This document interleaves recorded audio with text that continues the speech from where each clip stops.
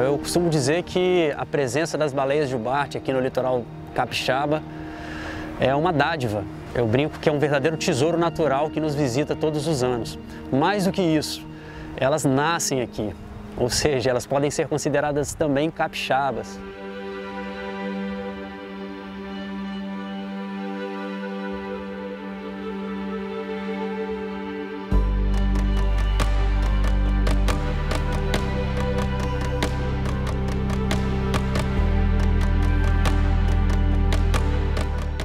2014, nós tivemos essa informação, né, que as baleias jubartes também visitavam aqui o nosso litoral.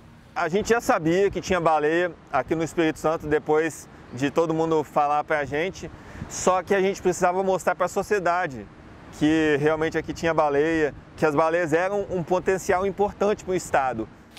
E foi quando nós constatamos isso através de uma expedição que nós fizemos onde que ali nós avistamos naquele dia aproximadamente 80 baleias, né?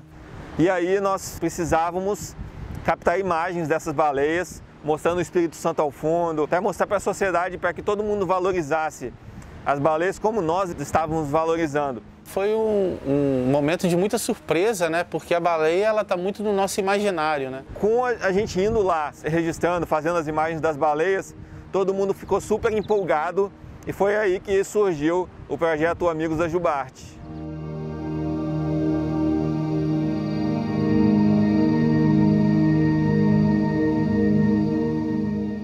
Aqui o Espírito Santo ele virou, ele se tornou novamente mais um berçário das, das baleias jubartes. Então tem muitas baleias que elas vêm, elas fazem essa migração justamente para a reprodução as que estão grávidas têm os filhotes, as outras vão engravidar. Pegando a partir da perspectiva de um filhote, quando ele nasce lá com aproximadamente uma tonelada, ele começa imediatamente a ser treinado pela mãe e amamentado pela mãe, justamente para esse filhote possa suportar o frio da região antártica, nas proximidades das Ilhas Sandwich e Geórgia do Sul, onde vão cumprir o seu ciclo de alimentação. Entre junho e novembro, elas estão por aqui se reproduzindo, e entre novembro e maio elas estão na Antártida, se alimentando.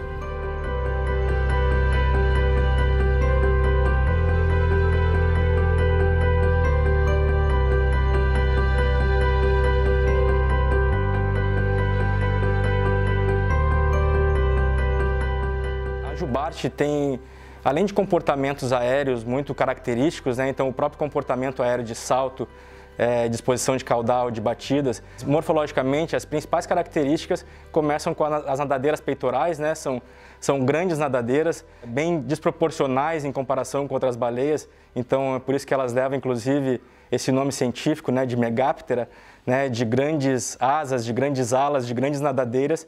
É, então essa é uma das principais características dela. A baleia antigamente era tida como um ser mitológico, né? Depois a baleia passou por uma segunda etapa, ela passou a ser vista como um, um bem que poderia ser utilizado para consumo humano. E também o óleo da baleia era utilizado para construção, é uma espécie de cola né, que eles utilizavam. E a gente tem inclusive é, no nosso estado, na nossa cidade, a prova disso. Um caso mais, mais famoso talvez seja o Convento da Penha. Né? O Convento da Penha, erguido há séculos atrás, ele se utilizou de óleo de baleia para poder sustentar os seus pilares, as suas pilastras e as suas paredes.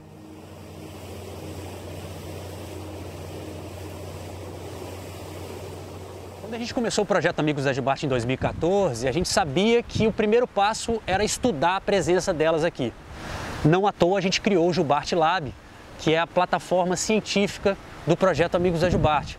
Hoje o, o Lab desenvolve pesquisas é, tanto com o acompanhamento do turismo de observação de baleias, como também faz pesquisas é, da saúde dessas populações de baleias jubarte.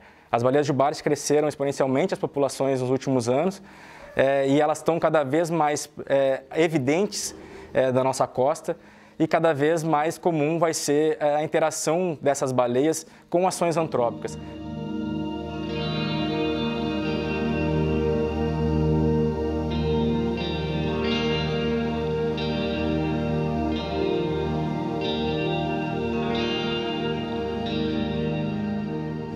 A gente tem características aqui na, no nosso estado, socioeconômicas, que são bem peculiares.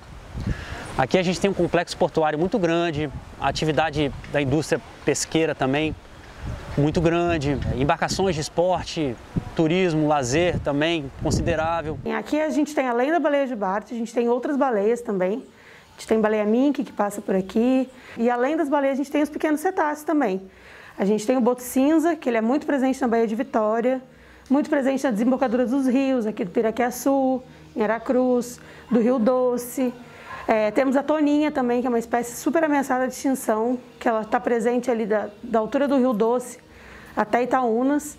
Ela é uma pequena, tem uma população estimada de 600 indivíduos só aqui nessa região do Espírito Santo. E ela é muito ameaçada, ela é muito pescada sem querer, a pesca acidental mesmo, que não é proposital. Aqui, justamente nessa região, a gente tem uma, uma área onde a temperatura ainda pode ficar um pouquinho abaixo de 20 graus. As regiões tropicais, a temperatura da água nunca fica abaixo de 20 graus. Por ser uma região de transição entre ambientes tropicais e subtropicais, ela tem uma fauna e uma flora marinha muito diversificada, porque ela tem componentes da região tropical, que já começam a aparecer, e da região subtropical. Né?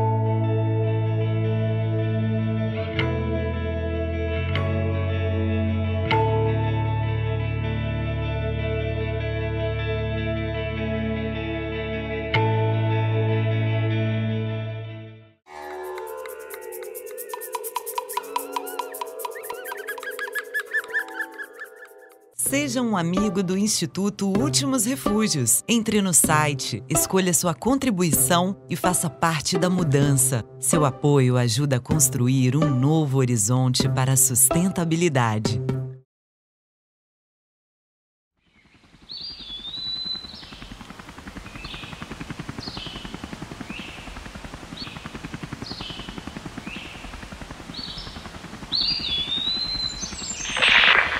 Atenção base na escuta, câmbio. Base na escuta. Gaspar, o Léo tá lá no mirante agora. Você precisa chegar aqui antes do anoitecer. Câmbio. Eu acho que é possível. Vamos lá.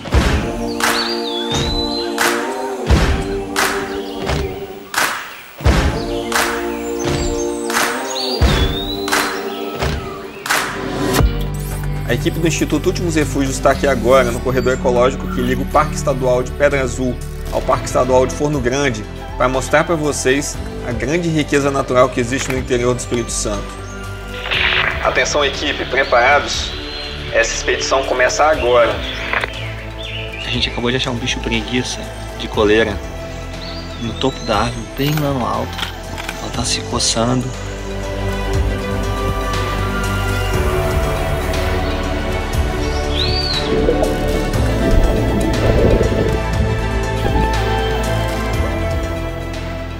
Gente já está monitorando essa área porque a gente acha que tem uma onça que passa por aqui. E normalmente onde tem onça, provavelmente tem outros animais interessantes também. Galera, vamos precisar de ajuda aqui. O carro acabou de atolar, copia. Vai, vai, vai, vai. Atenção base. Saímos de Pedra Azul e estamos passando pela reserva Águia Branca. Daqui a pouco nós chegamos aí em Forno Grande. Câmbio.